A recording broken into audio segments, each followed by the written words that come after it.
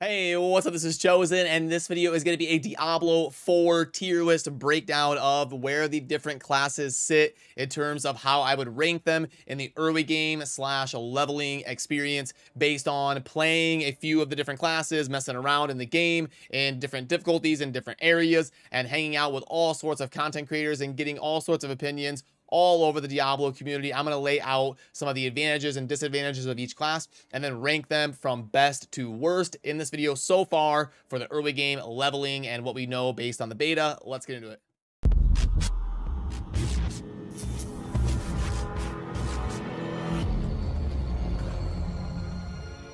Alrighty, so as you know, we have got five different classes in Diablo 4, the Barbarian, the Necromancer, the Sorcerer, the Rogue, and also the Druid, which by the way, if you want to just see a text breakdown, we do have one on the website. I will link to it down below in the video description and also the pinned comment. This is going to be where it is laid out for you to take a look at everything in text form as opposed to this video.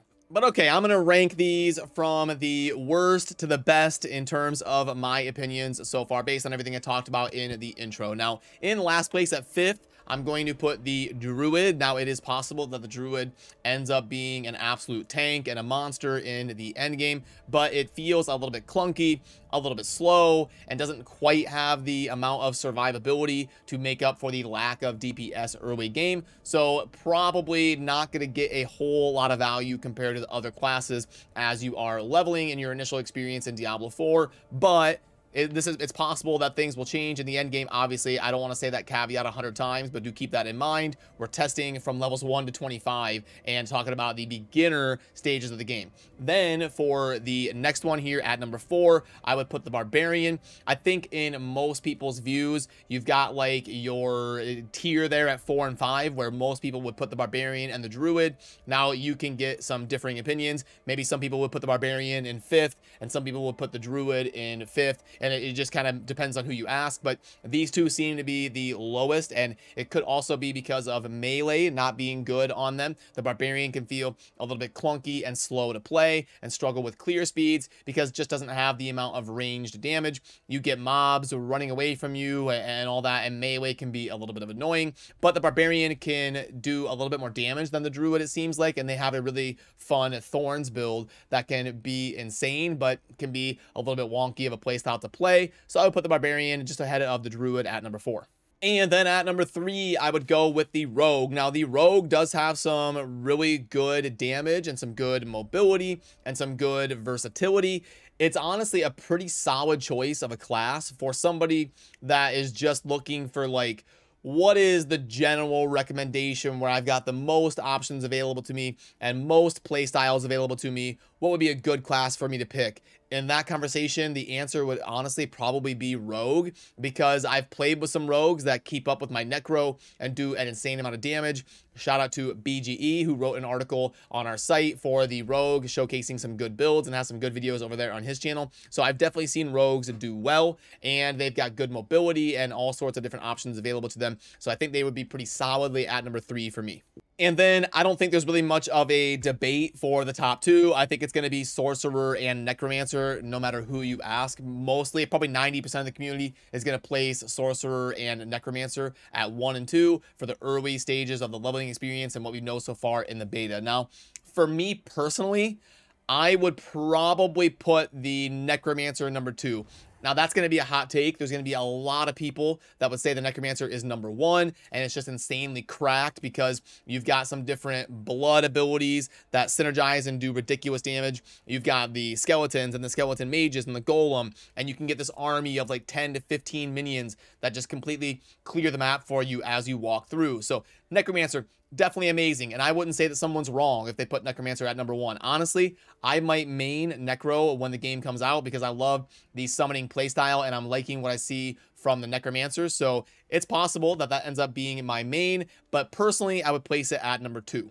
And at number one, obviously, that means that we have got the Sorcerer. Now, I spent a lot of time on the Sorcerer. It feels very good to play. It feels like you've got some good damage without being too squishy.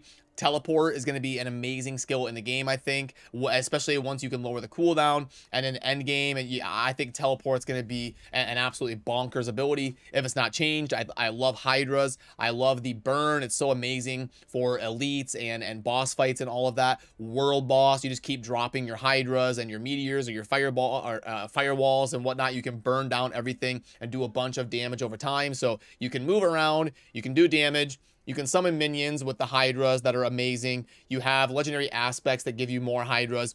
so really, there's not a weakness to the Sorcerer. It's just an absolutely awesome class, and I think it's going to be very popular on the launch of the game. And I'm probably, you know, in terms of what I'm going to main when the game releases, it's it's it's going to be either sorcerer or necromancer or rogue one of those top three. I, i've always like i was a demon hunter main in diablo 3 i had like 3500 hours on the demon hunter in d3 so the rogue could be a choice that i go with for sure. I would probably lean towards the ranged style but honestly i like being a spellcaster as well and i love summoning. So it's going to be one of those three. If you forced me to start the game today like if the game was releasing tomorrow I would probably main Necromancer, and I would try to maximize the utility of the summoning style and master it as best that I can is probably what I would choose right now. But on live, it's going to be one of those three.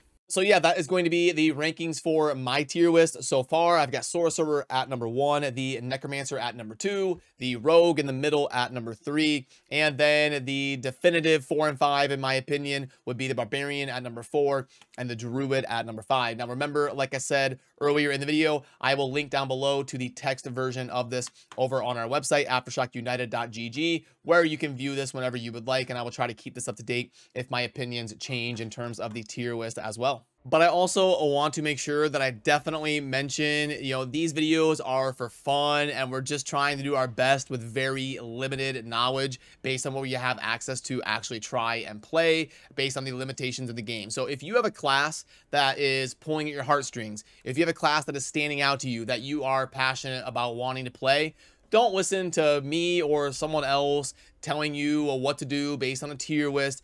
I would say pick the barbarian, pick the druid, pick the rogue, whatever, whatever is calling out to you that is going to feel good for you to be excited to play the game. Go ahead and do it because odds are a lot of these tier lists, could end up being wrong once we actually get to the end game and we can see a little bit more fleshed out, optimized build and the whole landscape of the game changes. So definitely play the class that appeals to you the most and don't put too much stock into tier lists and opinions that you're seeing around the Diablo community. So yeah, that does it for my tier list based on the beta. If you agree or disagree, definitely let me know down below. I always enjoy hearing the more opinions, the better. And we are always going to be evolving these resources to try and stay as accurate as possible. Also, if you're looking for anybody to talk with about Diablo 4, Theorycraft with, play with. You can join the Discord server down below. We've got thousands of people hanging out and talking about Diablo 4, super active community. And you can also DM me as well. I'm always happy to team up with people and, and help learn the game together and all that type of stuff. So I appreciate you. Remember to subscribe on your way out if you enjoy daily Diablo content. And I will see you soon in the next video. Have a good rest of your day. Peace.